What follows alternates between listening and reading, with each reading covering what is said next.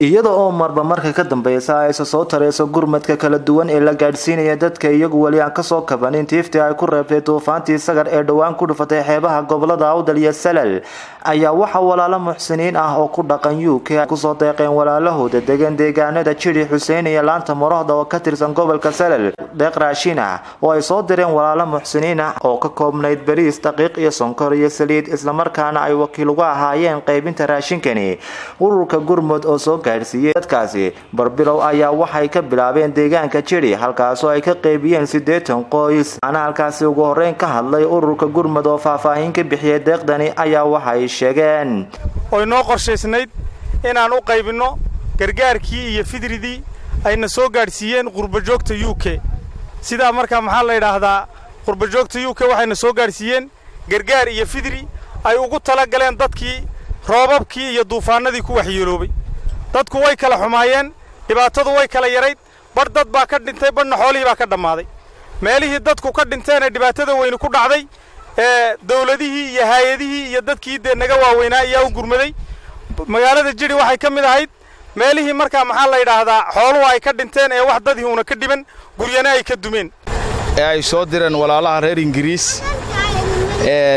haddii aan nahay gurmad guruub waan gaadhsiinnay dadkii iyo meelihii loogu tala galay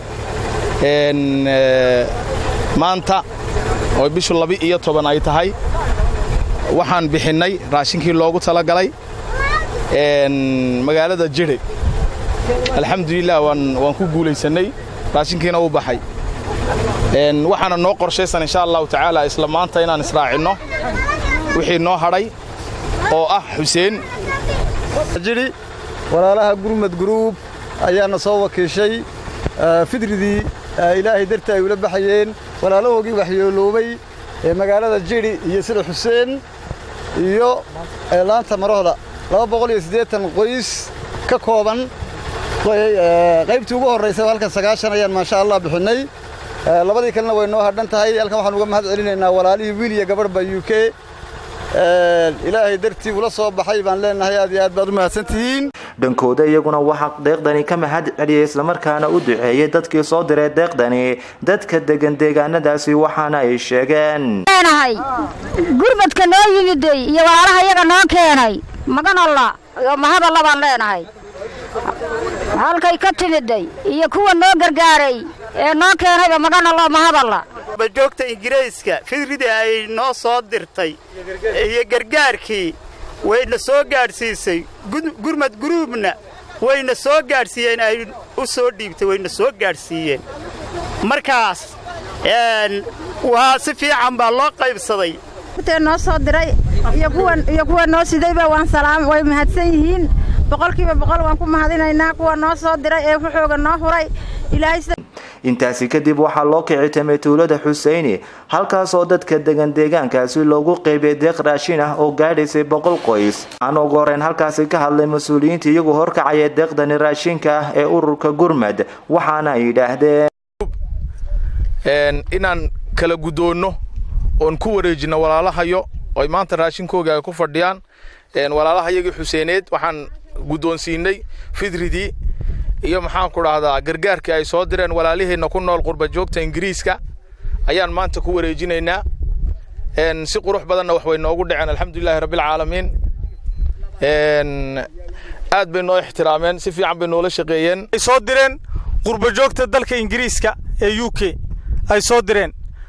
Degmadan xuseeneed amba tuuladan waxay ka mid ahayd dhulkii dadku xooluhu ay ka dhammaadeen ee duufaanta iyo barafkuu ku dhacay ee dad kama dhiban laakiin waxay ahaayeen dadku dhammaantood xoolihii bay ka baxeen way ka soo wala guureen buuraha iyo baadiyaha halkan bay iskugu yimaadeen. Alxamdulilah ilaahay wuxuu qadaray gurmadkii guruub gurmad inay u keento gargaarkii iyo markaa maxaa la yidhaahdaa fidridii ay soo direen dalka ingiriiska walaalaha ku nool ee qurbajoogga walaalo wixii kale ee wax geysanaya dhankay doonaanba ha joogaan amba qolqol ha joogaan amba qurba ha joogaan.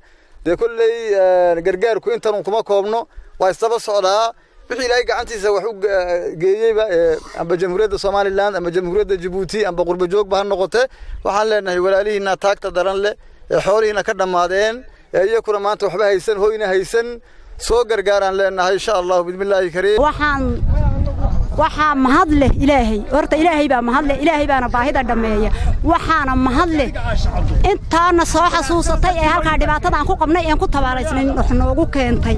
Ayaa mahad leh boqolkiiba boqol. Inta noo soo qaaday ee noo keentay baa mahad leh intaa noo keentay ee waktigooda noo hurtay ee halkaa noogu imatay baa mahad leh ilaahay baa mahad leh inta noo soo dirtay qurbajoogta noo soo dirtay ee muslimiinta way ku mahadsan yihiin. Inta noo keentayna way ku mahadsan yihiin. Halkaa xuseen noogu keentay. Sidaa laynii sheegay qurbajoogtaa baa noo soo dirtay ingiriiska joogta waa la noo keenay. Deeq afar shay ka kooban saliid bariis sokor daqiiq. Si fiican bay noo soo gaadheen si fiican baanan u guddoonnay. Waa jamaal cumar tubeec telefishinka caalamiga ee badda cas t v magaalada boorama